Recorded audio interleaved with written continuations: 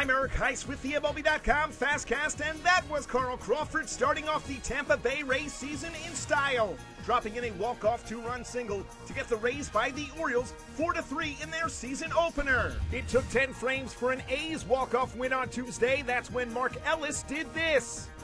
0-2, right field, and that's going to win it for the A's. Mark Ellis on an 0-2 pitch, slices one to right, Patterson scores, and the A's get win number one in 2010.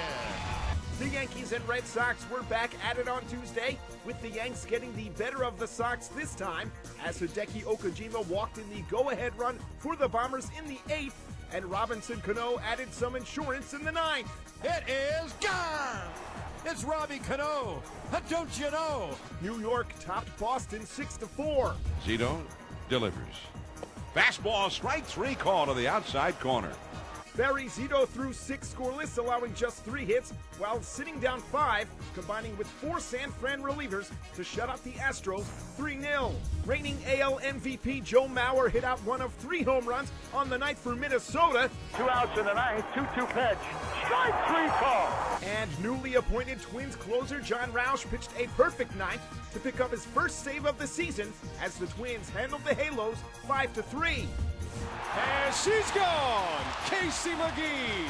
Casey McGehee ripped out a three-run homer, and Randy Wolf sat down eight in his Brewer debut as Milwaukee clipped Colorado 7 to 5. And Everth Cabrera went three for four, finishing just a home run shy of the cycle. The 23-year-old shortstop drove in four as the Friars foiled the D-backs 6-3.